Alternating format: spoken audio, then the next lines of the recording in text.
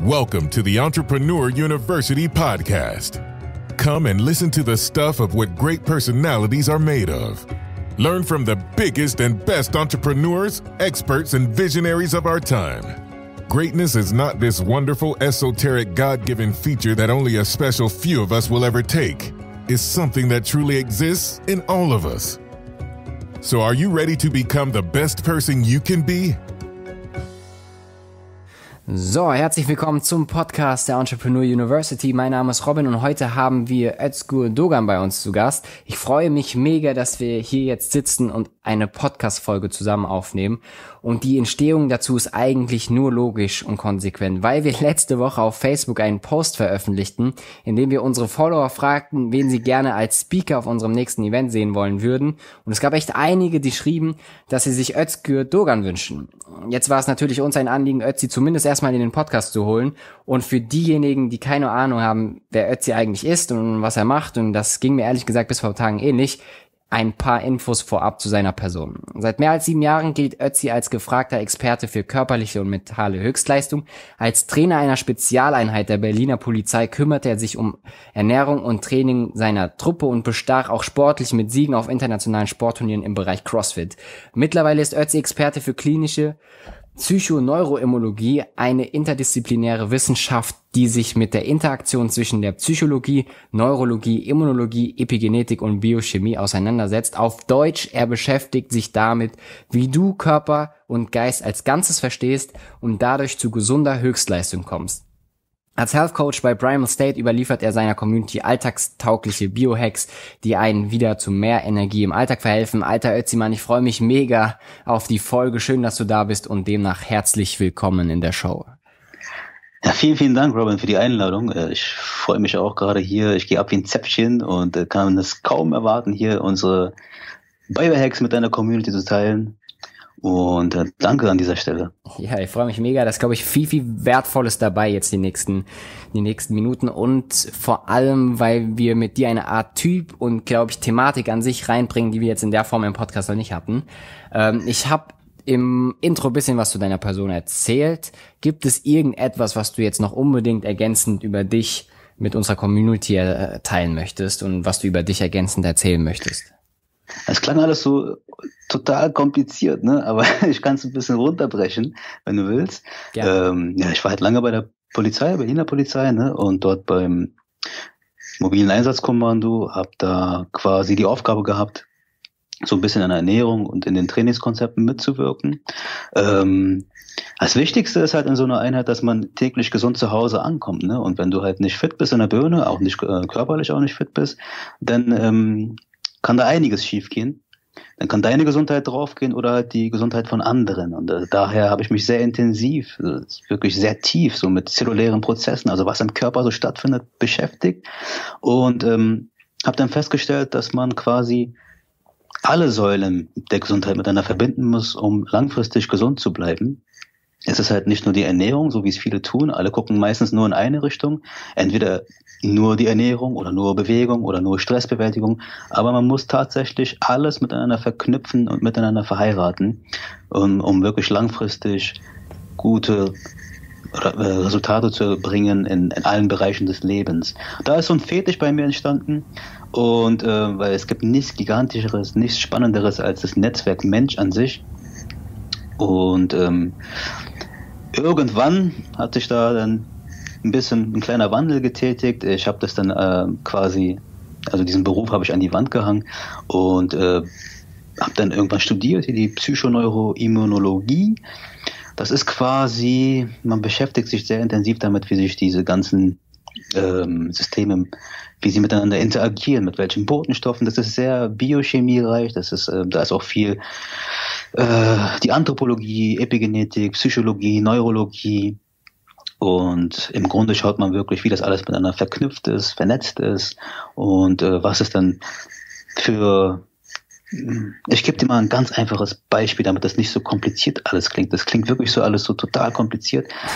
Wir kennen das alle. Der Chef steht im Nacken, nervt dich, stresst dich, macht viel Druck. So was passiert jetzt in deinem Körper? Welche Hormone werden freigesetzt? Ne?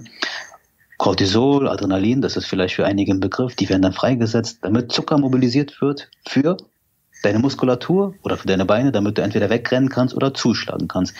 Dann kannst du höchstens einmal zuschlagen, dann bist du deinen Job los. Oder du sitzt halt da und wartest, bis dann irgendwie Symptom XY, das ist dann meistens ein Bluthochdruck, hervortritt. So, und dann ist meine Aufgabe, das alles zu erkennen und auch den Weg zu zeigen, wie man da wieder rauskommt. Wie kann man da wieder zurückrudern? Aber da muss man den Weg dahin erstmal kennen. Und äh, das ist dann meine Tätigkeit, meine aktuelle Tätigkeit als Health Coach. Ich ermittle quasi wieder wie ein Detekt, wie so ein Detektiv, suche hier auf die Spuren suche und suche die einzelnen Sequenzen im Leben, die schiefgelaufen sind und versuche dann wieder zurückzurudern. Und als Health Coach bin ich bei Prime Estate tätig und ähm, dort lasse ich halt ähm, mein Wissen, diese Werkzeuge reinfließen in unsere Community über, über Podcasts, über unseren YouTube-Channel, über Blogartikel und äh, mittlerweile auch über digitale Produkte. Ne? Wir haben ein Darmoptimierungsprogramm und wir haben auch ein, ein Schlafprogramm für Menschen, die nicht gut schlafen. Und genau, das ist, das ist so das, was ich aktuell mache. Klingt super, super spannend, Ötzi. Ähm, hauen wir auch alles in die Shownotes rein, was, was man da über euch alles an Info bekommen kann, hauen wir natürlich alles in den Podcast, in den Shownotes rein. Und ich habe es im Intro schon erzählt, du guckst ja halt dieses Gesamtkonzept zwischen Körper und Geist an. Und, und, mhm. und unter Körper, denke ich, können wir uns alle was vorstellen. Das ist greifbar, das ist seh, das kann man sehen, das kann man anfassen. Ähm, ähm, wie definierst du aber für dich den Geist? Also was ist für dich, was bedeutet für dich Geist? Sensibles äh, Instrument, was viel Pflege benötigt, was aber stark vernachlässigt wird in der heutigen Gesellschaft, äh, was auch sehr anfällig ist, wenn gewisse äh, Elemente fehlen. Und das sind eigentlich immer einfache Elemente, die aber leider immer in der Schublade der Esoterik landen. Ne? Mhm. Ähm, Geist und Körper, das ist jahrelang, jahrhundertelang in der, in der Medizin getrennt worden. Äh, war, war auch mal anders, ne? aber in der modernen Medizin wird es getrennt und es ist nicht, es ist nicht zu trennen. Das, das ist Mumpe, das macht krank. Ähm, wie könnte das aussehen, dass man den Geist pflegt, ähm, um mal hier ein paar, also um konkreter zu werden, um vielleicht so ein paar Werkzeuge mitzuliefern? Der Geist braucht auch mal Ruhe, der Geist muss auch mal gedüngt werden mit, mit, mit Berührung, mit sozialer Interaktion. Und wenn man halt nur funktioniert und nur hasselt und durchs Leben rast und hetzt und äh, in so einen Zombie-Modus verfällt und quasi zu einem Instrument, zu einer Maschine wird, ja dann äh, wird der Geist quasi eingehen, ne? wie eine Pflanze, die man nicht gießt. Und äh, unser Geist braucht auch diese genannten Elemente, die ich gerade aufgezählt habe, quasi als Düngermittel. Und was wir mittlerweile feststellen, ist, dass Menschen quasi äh, sich isolieren, nicht mehr mit ihren Mitmenschen kommunizieren, nur noch in diesen, diese ganzen Cy in dieser Cyberwelt gefangen sind und äh, dadurch die Pflege des Geistes halt total reduziert wird äh, oder vernachlässigt wird. Ne? Wir sind halt Herdentiere. Wir, wir brauchen die Interaktion. Wir müssen äh, in einer Gruppe unterwegs sein. Wir müssen unser Wissen austauschen. Wir müssen uns berühren. Wir berühren uns nicht mehr. Das ist ein Riesenfaktor. Gerade in Deutschland. Hier ist es verpönt. Hier ist man sehr schnell in einer privaten Zone. Der Südländer, der macht es anders. Da kann man sich mal ab und zu mal eine Scheibe abschneiden. Ne? Mhm. Und ähm, das sind die elementar wichtigen Dinge, die heutzutage zu kurz geraten. Und dann wird man auch krank. Ne? Auf jeden Fall. Also da war viel Wertvolles dabei, um irgendwie den Geist auch zu pflegen und auf Vordermann zu bringen. Ich möchte jetzt an der Stelle einen harten, bisschen harten Bruch machen und ja. zwar über deine Zeit äh, bei der Polizei sprechen. Ähm, ja. Gibt es da eine heftige Extremsituation, der du mal ausgesetzt warst, äh, in die du uns irgendwie mitnehmen möchtest und auch das wertvolle Learning, was du daraus mitgenommen hast, mit uns teilen möchtest? Ja, das ist immer schwer zu beantworten. Das, äh, also die Frage, die kommt immer, ne? Und ähm, du siehst halt in, in, wenn du in der Behörde unterwegs bist, dann siehst du viel. Da, also da prägt einen auch viel und du, du bist in vielen Extremsituationen gewesen. Aber irgendwann stumpfst du ab. Also irgendwann ist dann wirklich so, du fühlst nichts mehr dich nimmt nichts mehr mit. Und dann ist es, daher ist es schwer zu sagen, was war das Extremste für dich. Das Extremste für mich war, als ich irgendwann festgestellt habe, dass ich abgestumpft bin, dass ich nichts mehr fühle. Das war für mich das Extremste. Das war, ähm, als würde so ein schwarzer um Umhang fallen irgendwie. Es war gigantisch. Also man hat ja auch äh, mal Leichen hier und da gesehen und oder auch mal einige Menschen wieder beleben, wiederbeleben müssen. Ne? Das sind ja Extremsachen, die passieren so einem normalen Bürger in der Regel nicht. Mhm. Aber ähm, Ich selber hatte festgestellt, da ist dann jemand ähm, aus dem nahen Verwandtenkreis gestorben äh, und wo dann alle halt äh, unter Tränen standen, stand ich halt wie so ein Roboter da und habe nichts mehr gefühlt. Ich hatte keine, keine Gefühle, nichts. Und das war für mich so das Tragischste. Da habe ich dann gemerkt, es muss sich was wandeln, da muss ich was tun. Und äh, das ist ja auch ein Zeichen dafür, dass der Geist da irgendwie so ein bisschen abhanden gekommen ist. Ne? Mhm. Klar, krass, ähm, super spannend, dass diese Aussage jetzt von dir kommt, hätte im Leben nicht mit gerechnet. Ich hätte jetzt irgendwie eine, eine Verbrecherjagd oder so irgendwie äh, erwartet, aber e extrem wertvoll auch, dass du genau das irgendwie nennst, dass dieses Ab Abstumpfen für dich oder das Bemerken des Abstumpfens für dich die größte Extremsituation war? Ja, natürlich. Ich meine, dieses, dieses Räuberjagen, das ist ja, ist ja wie ein Spiel, ist ja wie Räuber und Gendarm, das macht ja auch Spaß, da entsteht ja auch so ein Fetisch. Ja, muss man ja offen sagen. Also natürlich, klar.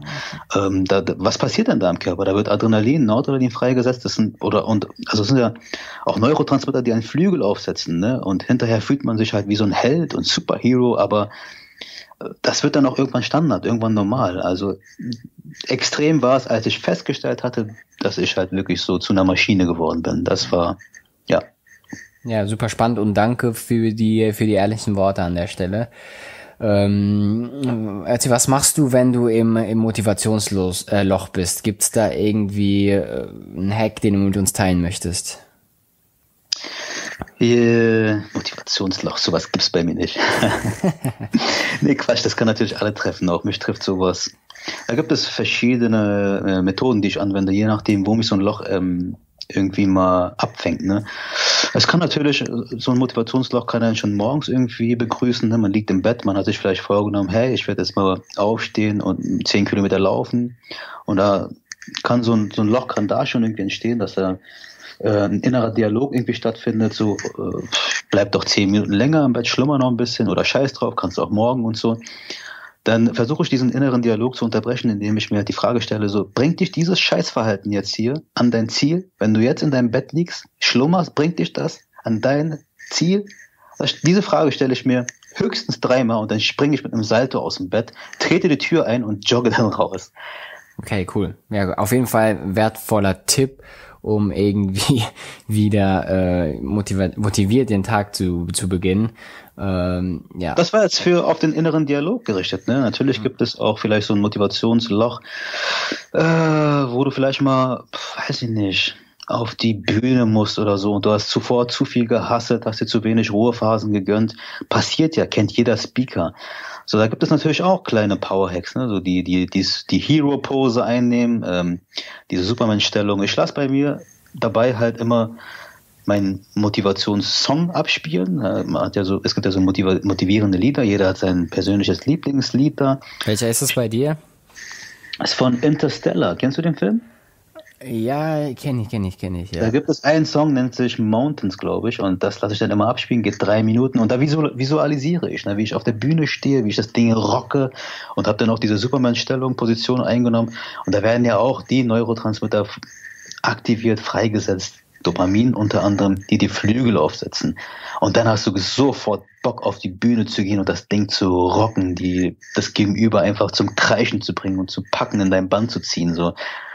Das ist ähm, in dem Bereich meine Methode. Ja. Okay, sehr cool. Danke für, für den Einblick da auch äh, hinter die Kulisse quasi. Ähm, was ich öfter auch vor, äh, feststelle, ist, dass auch viele junge Menschen, obwohl die ja eigentlich noch sehr lebendig sein sollten und voller, voller Tatendrang irgendwie sprühen sollten, trotzdem viele junge Menschen mittlerweile antriebslos sind und nicht mehr so wirklich an sich und ihre Stärken glauben. Was ist deiner Meinung nach die Ursache dafür? Man verlässt die Komfortzone nicht mehr, viel zu selten.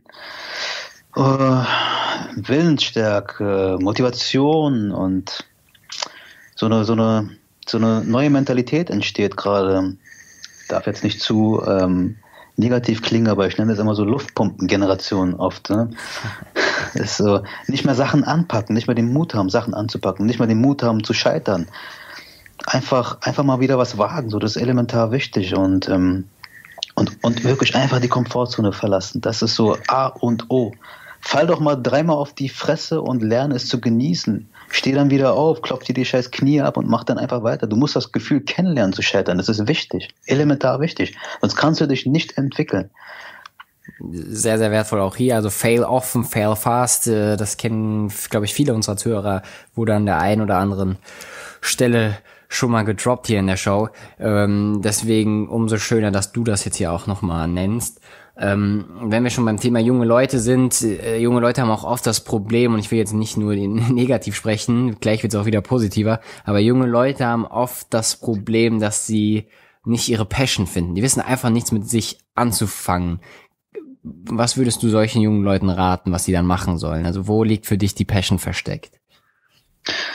Die Passion, wo sie versteckt, das, das weiß jeder für sich. Ne? Das schlummert im Herzen rum und äh, das kann man nur freisetzen, indem man halt äh, Sachen, die einen ablenken, eliminiert aus dem Leben.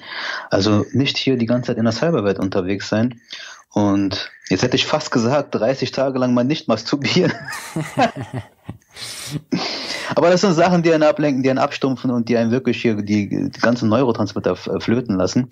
Ähm, für den Zuhörer, falls er nicht weiß, was Neurotransmitter sind, das sind chemische Botenstoffe, die im Körper halt produziert werden, die einen Flügel aufsetzen, die ein, das Leben wieder bunt gestalten. Ne? Wenn die fehlen, ist das Leben einfach grau, dann fehlt die Motivation.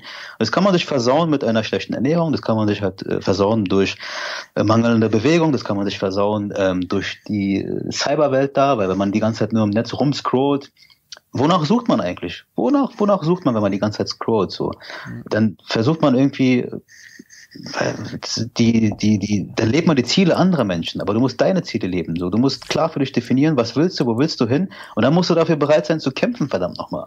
Ja. Ja, und cool. vielleicht auch Menschen um sich herum haben, die das, was du erreichen willst, schon erreicht haben. Ja. Ne? Einen Austausch stattfinden lassen. Und äh, Masterminds eine grandiose Sache. Bildet Masterminds. Ja, Elementar wichtig. Ja, was ich, was ich da aus deiner, deinen, deiner Aussagen vor allem jetzt rausgeschrieben habe, ist, die Passion findest du in deinem Herzen und du kennst die eigentlich schon. Das heißt, einfach mal in sich reinhören, nicht ablenken lassen von den, von dem ganzen Trubel, was heute alles abgeht, Facebook, Insta und so weiter, Snapchat. Man oft das Gefühl, dass Leute das Leben der anderen besser kennen als das eigene und dementsprechend um das, um das, was Ötzi gesagt hat, nochmal auf den Punkt zu kommen, deine Passion findest du eigentlich schon in deinem Herzen und kennst du eigentlich schon. Also hör einfach mal auf dich selbst und in dich hinein. Ähm, Ötzi, wir spielen hier in der Show und ich vergesse das immer wieder, unsere Zuhörer wissen das. Ähm, wir spielen hier in der Show immer wieder das Spiel, wie würde dein nächstes Buch heißen, wenn die letzte von dir geschriebene WhatsApp-Nachricht der Titel deines Buches wäre. Und ich habe dir jetzt vergessen zu sagen, dass du dein, dein Handy bei dir haben solltest. Ist es zufälligerweise bei dir? Ja. Muss mal kurz aus dem Flugmodus raus. Genau. Und okay, ja. Schau mal, schau mal in WhatsApp rein, was von dir die letzte geschriebene WhatsApp-Nachricht ist. Und das wäre im Umkehrschluss der Titel deines, deines Buches. Äh, egal an wen jetzt, oder? Genau, egal an wen. Okay. Wait. Ah, wo habe ich denn hier rumgeschrieben? Oh ne, hier fluchig. Äh, umso besser. äh, das ist nicht jugendfrei, warte mal. Ich habe hier, ja, also das letzte hier bei dem einen war einfach nur nice. Nice. Geil. Ja. Geiler Titel, oder? Also falls es zu dem Buch kommt von dir mit dem Titel Nice, äh, denkst okay. du an mich und äh, widmest es mir, oder? Definitiv. Ich werde dann auch, äh, wenn es wirklich dazu kommt, ein Gewinnspiel starten und zehn Stück verschenken bei dir auf der Plattform. Sehr gut. Wir, wir sind gespannt und erwarten das, das Gewinnspiel schon sehnsüchtig.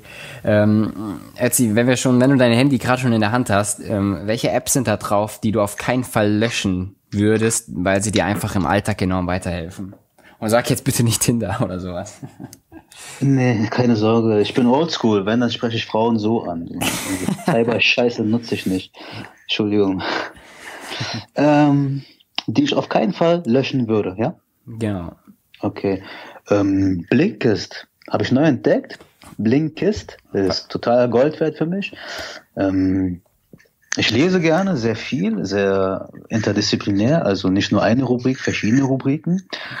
Und über Blinkist kann ich halt, das ist eine Plattform, da werden Bücher zusammengefasst. Ne? Wenn du mal oh, okay, cool. für ein Werk keine Zeit hast, aber du, du willst es, du willst unbedingt wissen, so was die Quintessenz ist, dann kannst du über Blinkist quasi die Zusammenfassung, das ist dann komprimiert auf vier Seiten ungefähr.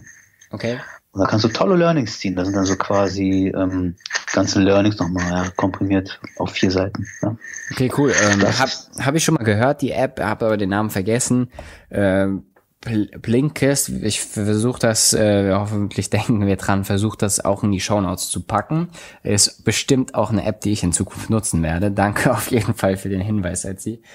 Ähm, Etsy, ich muss gleich noch einkaufen gehen. Was soll da unbedingt auf die Einkaufsliste und warum? Okay, fettiger Fisch, weil fettiger Fisch wichtige Fettsäuren liefert, die elementar wichtige Bausteine für unser Gehirn mitliefern. Und zwar sind das die Endstufen der Omega-3-Fettsäuren, EPA, DHA. Das sind Substanzen, die auf unser Gehirn wie Düngermittel wirken. Also du wirst deine Hirnleistung boosten. Mhm. Deine Merkfähigkeit wird besser, du wirst stressresistenter und es fördert auch die Neurogenese, wenn du dazu auch noch gut Sport machst. Ne? Okay. Ähm, also fettiger Fisch, dazu würde ich dir empfehlen, äh, Avocados zu kaufen, mhm. ähm, ein bisschen Zwiebel, Knoblauch, Limette und das alles schön pürierst, dann hast du eine Guacamole. Auch lecker, passt gut zum Fisch. Und die Avocado liefert nochmal wichtige Vitamine, unter anderem Vitamin E. Und mit dem Fett aus dem Fisch kann dein Körper auch die E-Vitamine aufnehmen, weil e, Vitamin E ist halt ein fettlösliches Vitamin. Und ich würde dir empfehlen, dazu dann noch irgendwie ein bisschen Wurzelgemüse dazu zu gestalten. Mhm. Nehmen wir jetzt mal zum Beispiel die Pastinake. Die Pastinake ähm, ist, liefert halt Faserstoffe, die gut für die Darmgesundheit sind und unter anderem für die guten Bakterien im Darm. Und wenn du deine guten Bakterien fütterst, dann schenken sie dir gute Laune. Ne? Sehr, sehr cool. Ich habe es mir wirklich mitgeschrieben und unsere Zuhörer wissen, was ich heute Abend essen werde. Ich sag, nice. ich schreibe dir später auf WhatsApp, wie es mir geschmeckt hat. Ich will ein Bild sehen. jetzt, jetzt, jetzt bin ich im Zugzwang. Jetzt muss ich es wirklich wahr machen. Äh, ich ich schicke dir tatsächlich ein, ein Bild. Du wirst sehen. Cool. Nice. Ich freue mich. Ja. Etzi, was war der beste Rat, den du je bekommen hast? Den ich je bekommen habe.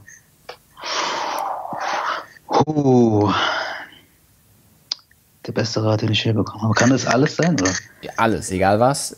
Nur was dir, oder zumindest ein guter, ähm, den du für dich irgendwie als sehr wertvoll erkannt hast.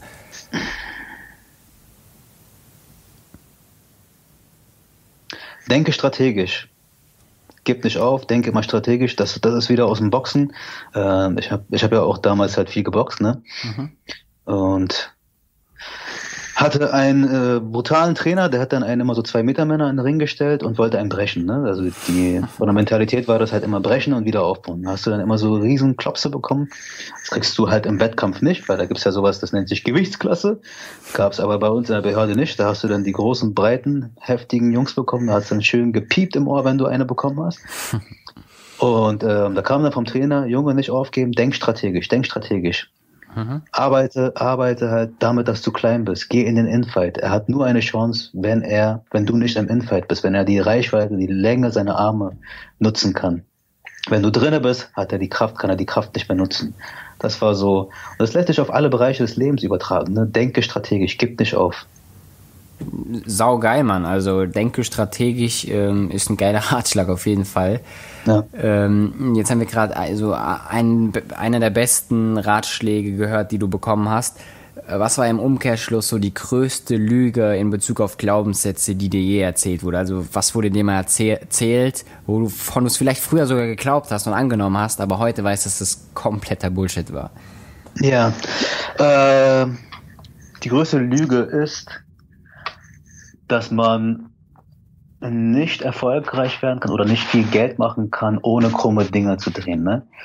Mhm. Also der Hintergrund dazu, ich bin halt in einem sehr sozial schwachen Milieu aufgewachsen, in Berlin-Neukölln. Ne? Es war, heute wollen sie alle da leben, früher wollte keiner da leben. Okay. Und äh, das sind quasi die Jungs, die ich später hops genommen habe, mit denen bin ich in einem Kiez groß geworden. Und da war das halt so ähm, vom Mindset her, wurde es wirklich so multipliziert, dass man nicht erfolgreich sein kann oder, oder viel Geld haben kann, ohne ein krummes Ding gedreht haben, gedreht zu haben. Ja. Mhm. Das habe ich auch geglaubt. Ich habe das echt geglaubt. Sehr lange. Okay, ich, ähm, okay, äh, kann ich verstehen. Man hat oft immer, kriegt man immer so den Eindruck vermittelt, ähm, der Reiche ist der Böse, ne? Und das ist natürlich nicht, äh, nicht der Fall. Ich kenne mittlerweile sehr, sehr viele wohlhabende Menschen, die halt echt menschlich auch schwer in Ordnung sind.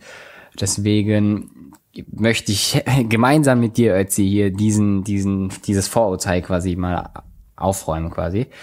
Ähm, Unbedingt, unbedingt. Das denken ja auch immer noch viele junge Menschen. Unbedingt. Also das ist Quatsch. Das ist, das ist ein limiting belief. Das ist die größte Schandtat überhaupt. Das darf man nicht multiplizieren. Das ist Quatsch. Es gibt natürlich äh, Leute, die durch Betrügen reich werden. Natürlich gibt es sowas. Ja, ähm, klar. Ich, ich glaube, es gibt aber drei Sachen, wie du, wenn wir jetzt über Reichtum sprechen, wie du äh, finanziell reich werden kannst. Das ist einmal fangen wir beim letzten an, was wir gerade besprochen haben. Du betrügst Menschen, das kann funktionieren, ähm, aber ich glaube, das funktioniert nur mit viel Bauchschmerzen und Kopfschmerzen. Äh, Nummer, wenn es überhaupt funktioniert. Und Nummer zwei ist, muss schneller sein als alle anderen oder intelligenter. Und ich glaube, das sind so drei, drei Möglichkeiten, äh, beruflichen Erfolg zu haben. Ja, unterstreiche ich so. Sehr gut. Ähm, Ötzi, hast du ein Vorbild und wenn ja, warum ist das genau diese Person? Oh, leider nicht. Okay. Ähm, ist schade eigentlich, ne? Aber aktuell leider überhaupt nicht, ne? Nee, nee, es ist gar nicht schade. Es ist, besteht ja auch immer die Gefahr, wenn man sich so ein Vorbild äh, heranzieht, dass man versucht, den zu imitieren und nachzumachen. Und das ist ja oft irgendwie genau der Holzweg, weil es halt jeder Mensch irgendwie für sich einzigartig ist und das dann nur schief geht. Äh, ich glaube, Leitbild ist so das der, der bessere Begriff und der der der der richtigere, wenn das irgendwie deutsch ist, der richtigere Begriff. Ähm, weil, wie gesagt, dann vielleicht nicht die Gefahr besteht, jemanden zu imitieren und nachmachen zu wollen. Aber überhaupt nicht schlimm, dass du jetzt hier äh, keine Person nennst. Aber gibt es irgendeine Person, die du zumindest irgendwie feierst? Keine Ahnung, wenn du aus dem Boxen kommst, hast du da jemanden aus dem Boxen oder so? Es gibt Menschen, die haben so Teilelemente, mhm. die, äh, die ich bewundere. Und äh, ich sage immer, steal like an artist. Ne? Nimm sie so von, von dem Besten, immer von jedem so ein Teilelement mit und dann schaff was Neues aus diesen ganzen Elementen. Ja. Cool, ja, sehr cool. Sind auf jeden Fall Menschen mit einer Eigenschaft, die ich auch bewundere. Ähm, Ötzi, damit unsere Zuhörer den Privatmensch Ötzi auch etwas mehr kennenlernen, würde ich dir gerne ein paar Entweder-Oder-Fragen stellen. Passt das für dich? Nice, natürlich, klar. Okay, sehr geil. Uh, Big Bang Theory oder How I Met Your Mother? Oh, how I Met Your Mother. ja. Uh, E-Mails oder telefonieren? Telefonieren. Uh, Kopf oder Bauchmensch? Alter, Ex-Polizist, Bauchmensch. Chaos oder aufgeräumt? Ach, Chaos. Ehrlich ist er, merken wir auch. Äh, Dorf oder Großstadt? Huh. Oh, das ist schwer, ne? Großstadt. Okay, cool. Ja, ich beides hat was. Ich glaube, ich brauche selbst beides. Ähm, so die Mischung macht's bei mir. Ich muss mich auch zurück. Ich, ich schaff, ich schaff, ich schaff. Ja, aber Dorf schaffe ich halt nur noch, nur noch, ich schaffe Dorf nur eine Woche, ne? Und dann fehlt mir das wieder hier. Okay, verstehe. Ja. Alright, äh, Etzi, wir kommen langsam leider dem Ende des Interviews entgegen. Ähm, deswegen würde ich ah. dir gerne noch eine wichtige Frage stellen. Okay. Wie schaffe ich es nachhaltig, den Content, den ich konsumiere, auch tatsächlich umzusetzen? Hast du dafür uns ein paar Tipps? Welche Art von Content? Egal welche Art von Content. Also wenn ich irgendwas konsumiere an Content, zum Beispiel deinen Podcast oder unseren oder Bücher oder wie, was auch immer, äh, wie schaffe ich es irgendwie ins Umsetzen zu kommen und nicht einfach nur zu konsumieren? Ja. Äh, ich hätte jetzt fast einfach machen gesagt, ne? aber es wäre jetzt zu einfach. Ich glaube tatsächlich, dass es doch dann die einzigste Lösung ist, aber vielleicht hast du noch irgendwie ein Praxis Beispiel. Du musst, du musst ja, du musst ja erstmal so eine kleine Flamme erzeugen, ne? Irgendwie auch ähm, vielleicht de deine Mitmenschen begeistern und so. Mach dir Notizen um, äh, und dann äh, rede darüber, damit sich das wirklich im Kopf manifestiert, damit das in Unterbewusstsein eindringt, damit du davon träumst, mhm. damit du wirklich, wenn du morgens wach wirst, das erste ist, was du denkst. Und das sind ja so kleine Motivationsschiebe, die du dadurch äh, bekommst. Und dann kommst du auch ins Handeln, dann machst du auch, ne? Vielleicht erst nach Tag drei, vielleicht erst nach Tag vier, aber das sind so die strategischen Spielchen, um dich diese Motivationsschübe zu geben. Äh, wenn du irgendwas hörst, notierst, ähm, dann rede darüber, erzählst deinen Freunden, berichte davon. Und es ist dann wie so ein kleines Fegefeuer, was man da sich äh, selber streut, ne? Was, was dann entfacht. Auf jeden Fall. Also Visualisierung hatten wir vielleicht auch vorhin schon gehabt, ähm, wo du dir irgendwie vorgestellt hast, vor deiner Zuhörerschaft äh, zu sprechen und die mitzunehmen und so weiter. Ja, yeah, natürlich. Das kann klar. natürlich auch helfen, ähm, sich auszumalen, wie es werden könnte, wenn ich das, was ich weiß, auch umsetze. Und mir fällt dazu immer der Spruch ein, Wissen ist Mach. Und das ist für mich so der dümmste Satz, den ich je gehört habe, weil Wissen ist nicht Macht. Wissen ist lediglich potenzielle Macht. Und solange man nicht umsetzt irgendwie, bringt das einem äh, leider sehr, sehr wenig. Definitiv. Ich meine, dieses Visualisieren, das ist Gold wert, weil wenn man dann das, wenn man sich das visualisiert und auch noch sich vorstellt, wie fühlt es sich an, was höre ich, was sehe ich, wie spürt es sich an, du verarschst dein Hirn dadurch, ne? Du triggerst da was. Dein Hirn denkt wirklich, du hast es schon mal erlebt. Und dann kriegst du vielleicht am nächsten Tag wirklich Bock, es zu machen. So, das sind so sogenannte Hacks halt, ne, wie man halt sein Hirn so ein bisschen verarschen kann. Ja, auf jeden Fall. Also das ist auf jeden Fall ein sehr, sehr wichtiges, vielleicht für den einen oder anderen ähm, wertvolles Tool. Da gibt's ja auch die sogenannten Vision Boards und ähm, Journal hilft mir auch ein bisschen. Also wenn ich immer reflektiere morgens und abends. Morgens, was will ich machen? Also so positive Affirmationen. Ähm, welche Werte will ich leben tagtäglich? Ähm, was will ich heute abarbeiten? Und dann auch in der Reflexion am Abend mich knallhart äh, reflektiere, was ich wirklich umgesetzt habe, ähm, damit ich tagsüber schon weiß, wenn ich es nicht umsetze, werde ich am Abend im Bett liegen und mich selbst dafür hassen, dass ich es nicht umgesetzt habe. Ja, also unbedingt. Visualisierung, Journaling-System sind auf jeden Fall wertvolle Möglichkeiten, da irgendwie auch ins Umsetzen zu kommen. Äh, mal, ganz zum Schluss würde ich gerne noch mal eine private Story von dir hören, wenn du natürlich vorausgesetzt die mit uns teilen möchtest. Und zwar gibt es so einen größten Fuck-up-Moment, den du hattest, irgendwas, was komplett schief gelaufen ist, aber wo du halt auch enorm viel draus gelernt hast. Äh, ja, klar. Ähm, Wait, das wird das, das wird jetzt lustig. Pass auf, ist gar nicht so lange her, vor, weiß ich nicht, ein paar Tagen, ja. Äh, Vortragsreihe, Fitnessstudio und ähm, es hieß halt, war so ein kleiner Kommunikationsfehler passiert, ne? Es hieß halt älteres Klientel und ich dachte mir halt, okay, älteres Klientel, die sind halt 30 halt, ne? Weil es war jetzt nicht McFit oder so, wo halt die ganzen 20-Jährigen trainieren. Das ist ein anderes Studio gewesen. Ähm, ja, ich komme an, schaue in den Raum rein und stelle fest, scheiße, älteres Klientel, damit war gemeint 65. Okay. So, und jetzt habe ich natürlich so eine lockere Art und immer so einen flapsigen Spruch auf der Lippe und äh, das hätte da so nicht so gepasst halt. Ne? Und dann musste ich in meinem Kopf schnell die Struktur und alles, den Terminus so nochmal im Kopf ändern schnell und meinte dann so, als ich empfangen wurde, hey, sag mal, ist das der Raum, wo ich meinen Vortrag halten muss? dann kam die Antwort so voller Staunen, ja.